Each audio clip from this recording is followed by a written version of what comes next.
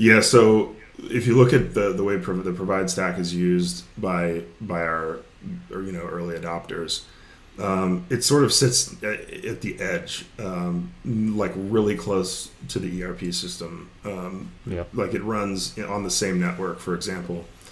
Uh, and so to that extent, it's already this distributed system where you've got um, you where provide does run like you know its its own uh, um, its own hosted environment, um, but then every organization also runs their own hosted environment.